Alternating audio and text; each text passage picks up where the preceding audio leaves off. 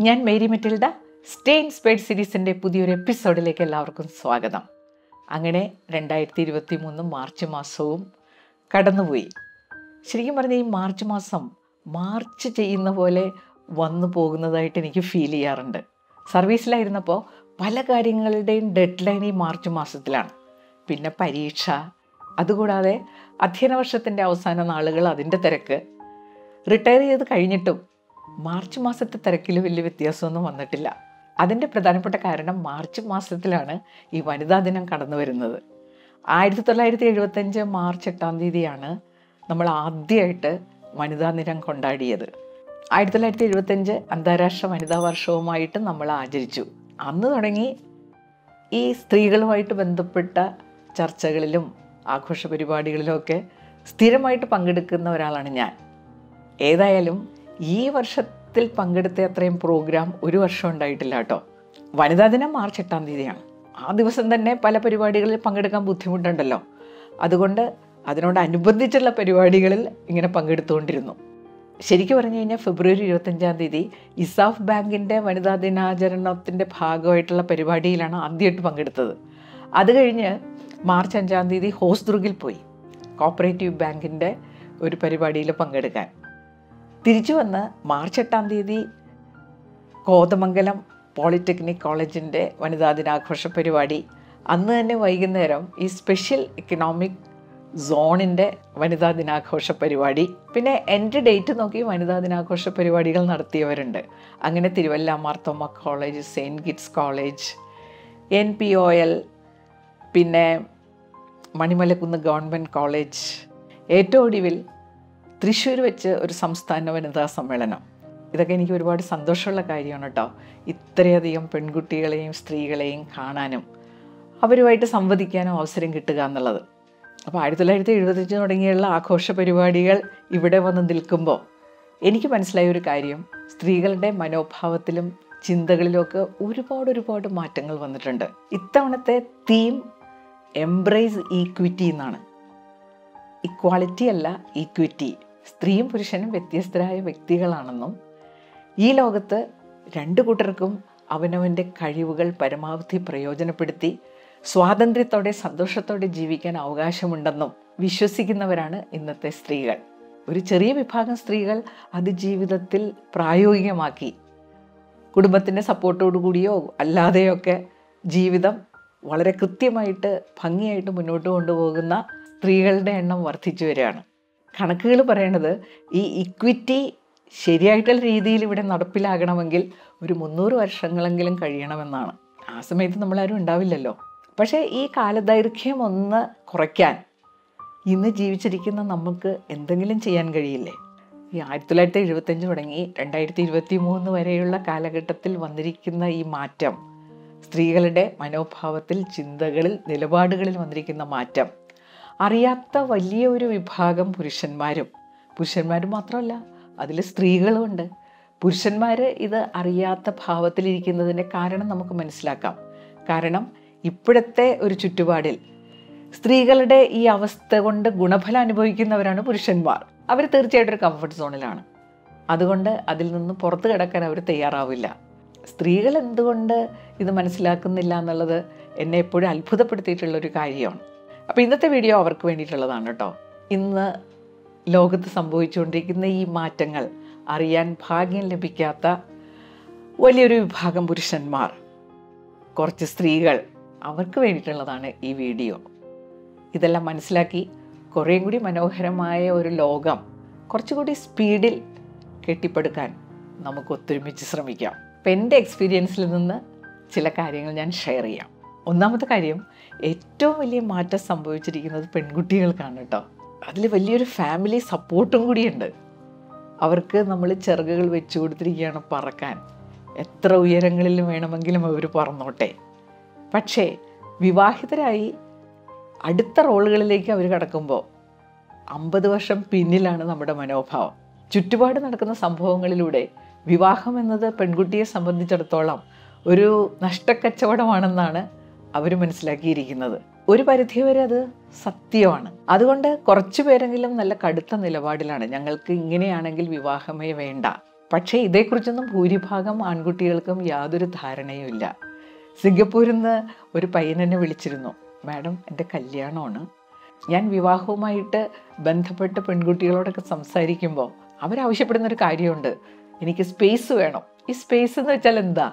വളരെ ഇന്നസെന്റ് ആയിട്ടാണ് ഈ പയ്യന്റെ ചോദ്യം. അതിന്റെ അർത്ഥം എന്താ?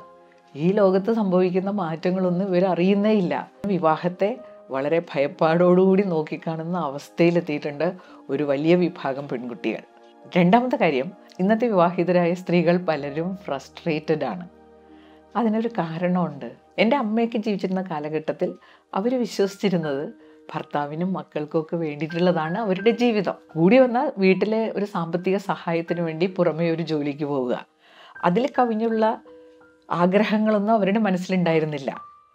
ചുറ്റുപാടും എന്താ നടക്കുന്നതെന്ന് അറിയാനുള്ള സാഹചര്യം ഒന്ന് കുറവായിരുന്നു. ലോകത്ത് എന്തെല്ലാം മാറ്റങ്ങൾ വന്നു ഇതൊന്നും അവരറിഞ്ഞിരുന്നില്ല. പക്ഷെ ഇന്ന് അങ്ങനെയല്ലല്ലോ. ഇവിടെ നടക്കുന്നതെല്ലാം എല്ലാവരും അറിയുന്നു. ഈ ലോകത്തിന്റെ സാധ്യതകൾ ഇന്നത്തെ സ്ത്രീകൾ തിരിച്ചറിയുകയാണ്. അപ്പോൾ തീർച്ചയായിട്ടും അവർക്കൊരു ഫ്രസ്ട്രേഷൻ ഉണ്ടാവും. എന്നിട്ട് നമുക്കിതൊന്നും സാധിക്കുന്നില്ലല്ലോ. രണ്ട് സിനിമകൾ ഇറങ്ങിയില്ലേ? ഒന്ന് ദ ഗ്രേറ്റ് ഇന്ത്യൻ കിച്ചൺ രണ്ടാമത്തെ സിനിമ ജയ ജയ ജയ ഹേ. വൻ ഹിറ്റുകളായ രണ്ട് ചിത്രങ്ങളായിരുന്നു. വലിയ കലാമൂല്യമോ താരമൂല്യമോ ഒന്നും ഈ ചിത്രങ്ങൾക്കൊന്നും അവകാശപ്പെടാനില്ല. പക്ഷേ ജനലക്ഷങ്ങൾ ഇത് ഏറ്റെടുത്തു. അതിന്റെ ഏറ്റവും പ്രധാനപ്പെട്ട കാരണം ഒരുപാട് പേർക്ക് സ്വന്തം ജീവിതവുമായിട്ട് ആ ചിത്രങ്ങളെ റിലേറ്റ് ചെയ്യാൻ പറ്റി. അതിൽ ഒരു ചിത്രത്തിൽ പെൺകുട്ടി കരാട്ടയൊക്കെ യൂട്യൂബിലൂടെ പഠിച്ച് ഭർത്താവിനെ നേരിടുന്ന ഒരു രംഗമുണ്ട്. ഹർഷാരവങ്ങളോട് കൂടിയിട്ടാണ് ആ രംഗം തിയേറ്ററിൽ സ്വാഗതം ചെയ്യപ്പെട്ടത്. ഇതുപോലെയൊക്കെ എനിക്കൊന്ന് പ്രതികരിക്കാൻ പറ്റിയിരുന്നെങ്കിലെന്ന് ഒരുപാട് സ്ത്രീകളും പെൺകുട്ടികളും ചിന്തിച്ച് കാണണം. അതുകൊണ്ടാണ് ഈ ഫിലിമുകളൊക്കെ വൻ ഹിറ്റായി മാറിയത്. അതിലെ നായികമാരൊക്കെ ഒരു വലിയ പരിധി വരെ ഈ കാര്യങ്ങളൊക്കെ സപ്രസ് ചെയ്ത് സപ്രസ് ചെയ്ത് പിന്നെ ഒരു ലെവലെത്തുമ്പോൾ എക്സ്പ്ലോഷനാണ്. അവർ പിന്നെ എന്താ ചെയ്യണമെന്ന് അവർക്ക് തന്നെ അറിയില്ല. നമ്മളെ സംബന്ധിച്ചും ഇങ്ങനെ സംഭവിച്ചു കൂടായികയൊന്നുമില്ല. ഒരു ഭർത്താവ് ഒരിക്കൽ ഫോൺ ചെയ്ത് എന്നോട് പറയണം ഭാര്യയിൽ നിന്ന് അയാൾ അനുഭവിക്കുന്ന പീഡനം. അവസാനം സംസാരിച്ചു വന്നപ്പോൾ ആദ്യകാലങ്ങളിൽ ഈ ഭാര്യയെ ഇയാൾ പീഡിപ്പിച്ചിരുന്നു. പീഡനം എന്ന് പറഞ്ഞു കഴിഞ്ഞാൽ അവളുടെ ആഗ്രഹങ്ങളൊന്നും നടത്താൻ ഇയാൾ സമ്മതിച്ചിരുന്നില്ല. ഒരു സ്വാതന്ത്ര്യവും അനുവദിച്ചിരുന്നില്ല. പക്ഷെ അവൾ എതിർത്തിരുന്നില്ല. മക്കളുടെയൊക്കെ കല്യാണം കഴിഞ്ഞപ്പോൾ അവൾ പറഞ്ഞു ഇനി അങ്ങോട്ട് ഞാനിനി ജീവിക്കാൻ പോവാണ്. എന്റെ ഇഷ്ടമനുസരിച്ച് എന്റെ സ്വാതന്ത്ര്യം അനുഭവിച്ചുള്ളൊരു ജീവിതം. അവിടെ നിങ്ങൾക്കൊന്നും ചെയ്യാൻ സാധ്യമല്ല. പിന്നെ ഭർത്താവിനെ അവർ വകവയ്ക്കാതെയുള്ളൊരു ജീവിതം. ഇത്രയും കാലം അനുഭവിച്ച ഫ്രസ്ട്രേഷൻ മുഴുവനും അയാൾക്കെതിരെ പ്രയോഗിച്ചുകൊണ്ടുള്ള ഒരു ജീവിതം. അപ്പോൾ അയാൾ വളരെ നിരാശനാണ്. എന്ത് ചെയ്യാൻ? വൈകിപ്പോയി. ഈ ലോകം ഇങ്ങനെയൊക്കെ മാറുമെന്ന് അയാൾ സ്വപ്നത്തിൽ പോലും വിചാരിച്ചിട്ടുണ്ടാവില്ല. മൂന്നാമത്തെ കാര്യം സാമ്പത്തിക സ്വാതന്ത്ര്യം ജീവിതത്തിൽ വളരെ വിലപ്പെട്ടതാണെന്ന് വിശ്വസിക്കുന്നവരാണ് ഇന്നത്തെ വിവാഹിതരായ ഭൂരിഭാഗം സ്ത്രീകളും. ഒരുപക്ഷെ പഠിക്കുന്ന പെൺകുട്ടികൾക്ക് അതേക്കുറിച്ച് അത്രത്തോളം ഗൗരവത്തോടുകൂടി ചിന്തിക്കാറായിട്ടില്ല എന്ന് തോന്നുന്നു. വിവാഹിതരായ സ്ത്രീകൾക്ക് എന്തായാലും വലിയൊരു തിരിച്ചറിവ് വന്നിട്ടുണ്ട്. ഈ അടുത്ത കാലം ഒരു ഒരു പ്രവണത ഉണ്ടായിരുന്നു അമ്മയുടെ റോളിനെയൊക്കെ ഗ്ലോറിഫൈ ചെയ്ത് വീട്ടിലെ ജോലികളെല്ലാം യാതൊരു പ്രതിഫലവും കൂടാതെ സ്ത്രീകളെ കൊണ്ട് ചെയ്യിക്കുന്ന ഒരവസ്ഥ. പണ്ടൊക്കെ വിമൻസ് ഡേയിലൊക്കെ ഇങ്ങനെ ഒരുപാട് പോസ്റ്റുകളൊക്കെ കണ്ടിരുന്നു. കുറച്ച് വർഷങ്ങൾക്ക് മുമ്പേ വരെയൊക്കെ. പക്ഷെ ഇപ്പം അങ്ങനെയൊന്നും കാണാനില്ല. ഇതൊക്കെ കേട്ട് ചൂഷണം ചെയ്യപ്പെടാൻ ഇന്ന് ഭൂരിഭാഗം സ്ത്രീകളും ഒരുക്കമല്ല. അതിന്റെ ഒരു കാലം കഴിഞ്ഞു. അടുക്കള ജോലി അല്ലെങ്കിൽ വീട്ടിലെ ജോലി എന്ന് പറഞ്ഞു കഴിഞ്ഞാൽ വളരെ വിരസമായതും പ്രതിഫലമില്ലാത്തതുമായ ജോലിയാണ്. പ്രതിഫലമില്ലാത്തത് കൊണ്ട് തന്നെ എല്ലാവരും ഇതിൽ പങ്കാളികളാകേണ്ടതാണ്. ജോലിയില്ലാത്ത സ്ത്രീകളുടെ ഭർത്താക്കന്മാർ പറയുന്ന ഒരു കാര്യമുണ്ട്. ഞങ്ങളല്ലേ പുറമേ പോയി ജോലി ചെയ്ത് എക്കണോമിക് ഇൻകം വീട്ടിലേക്ക് കൊണ്ടുവരുന്ന ആളുകൾ. പിന്നെ ഈ ജോലിയും കൂടി ഞങ്ങൾ ചെയ്യണമെന്ന് പറഞ്ഞാൽ എങ്ങനെ ശരിയാവും? അവിടെ ഒരു കാര്യം നമ്മൾ ഓർക്കാനുള്ളത് പുറമേ പോയി ജോലി ചെയ്ത് എക്കണോമിക് ഇൻകം ഉള്ള സ്ത്രീകളുണ്ട്. അവരുടെ കാര്യത്തിൽ ഈ രണ്ട് ജോലികളും അവർ ചെയ്യേണ്ടതായിട്ട് വരുന്നു. പിന്നെ ജോലി ഇല്ലാത്ത ഒരു സ്ത്രീയാണെങ്കിലും ഒരു കാര്യം നമ്മൾ ഓർക്കണം. ഈ പുറമേ പോയി ജോലി ചെയ്യുമ്പോൾ അതിന് ഒരു എക്കണോമിക് ഇൻകം കിട്ടുന്നു.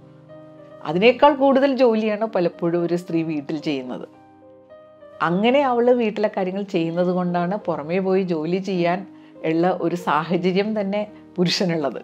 പുറമേ പോയി അയാൾ ജോലി ചെയ്യുമ്പോൾ അയാൾക്ക് എക്കണോമിക് ഇൻകം കിട്ടുന്നുണ്ടെങ്കിൽ പുറമേ പോയി ജോലി ചെയ്യാനുള്ള സാഹചര്യം ഒരുക്കുന്ന സ്ത്രീക്ക് അതിന്റെ പകുതിയെങ്കിലും അവകാശപ്പെട്ടതല്ലേ?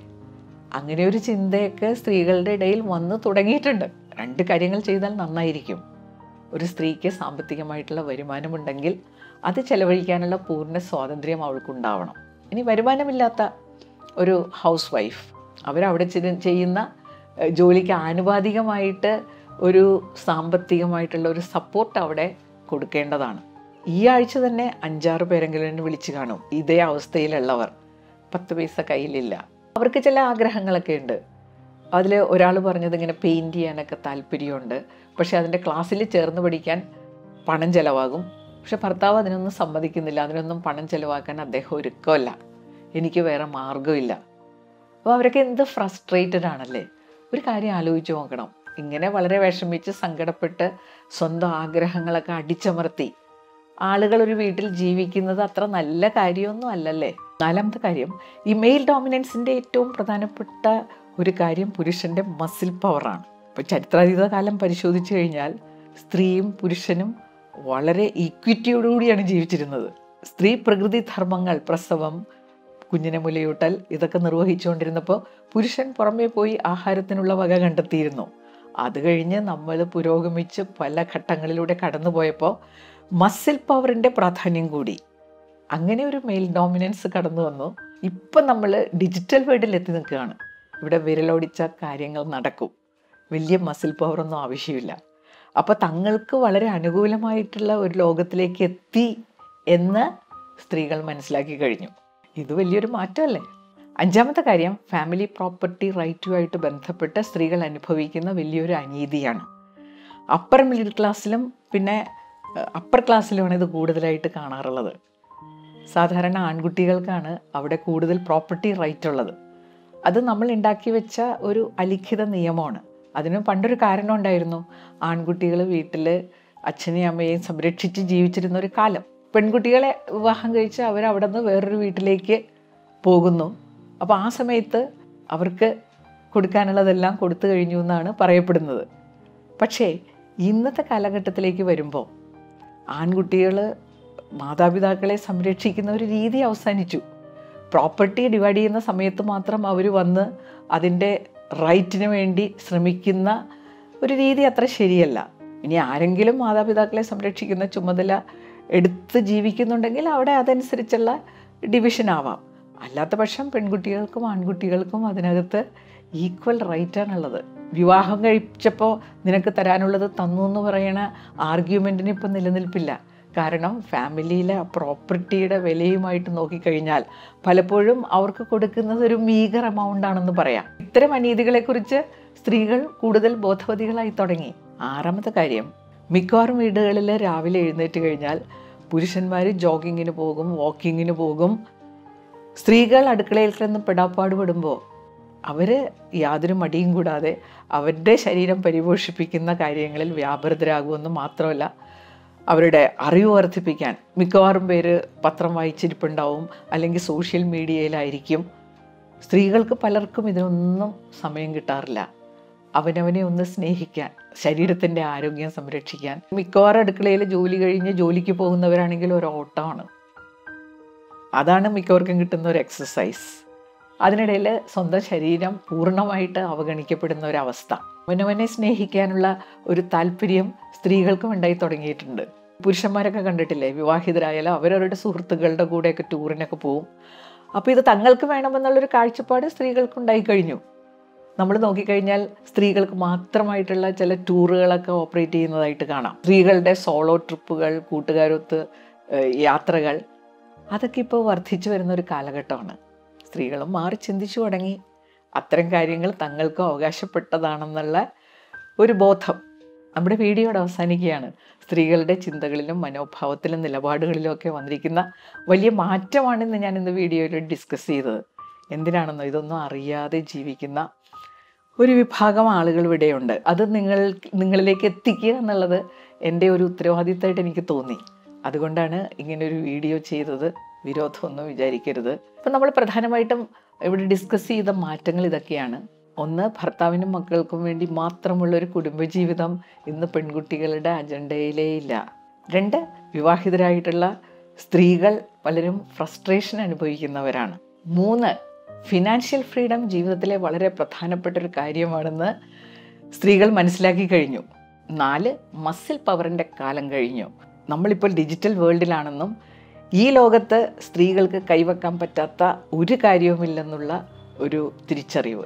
അഞ്ച് ഫാമിലി പ്രോപ്പർട്ടി താൻ ജനിച്ചു വളർന്ന ആ ഫാമിലി അവിടുത്തെ പ്രോപ്പർട്ടി ഡിവിഷനിൽ ഉള്ള ഒരു ഈക്വൽ റൈറ്റ് ഒരു തുല്യ അവകാശം ആറാമത്തെ കാര്യം അവനവനെ സ്നേഹിക്കേണ്ടതാണെന്നുള്ള ഒരു വലിയൊരു അവയർനെസ് സ്ത്രീകൾക്കുണ്ടായി കഴിഞ്ഞു അങ്ങനെ കുറേ കൂടി ബോൾഡ് ആൻഡ് ബ്യൂട്ടിഫുൾ ആയിട്ട് ജീവിക്കാൻ തീരുമാനിക്കുന്ന സ്ത്രീകളുടെ എണ്ണം കൂടിക്കൂടി വരുന്നു എന്നുള്ളത് വളരെ സന്തോഷം തരുന്ന ശുഭാപ്തി വിശ്വാസം തരുന്ന ഒരു കാര്യമാണ്. അപ്പോൾ ഈ കാര്യങ്ങളൊക്കെ ഒന്ന് അംഗീകരിച്ചു കഴിഞ്ഞാൽ അംഗീകരിച്ച് ജീവിക്കാൻ സ്ത്രീക്കും പുരുഷനും സാധിച്ചാൽ കുറേയും കൂടി മനോഹരമായിട്ടുള്ള ഒരു ലോകം നമുക്ക് സ്വന്തമാക്കാൻ പറ്റും.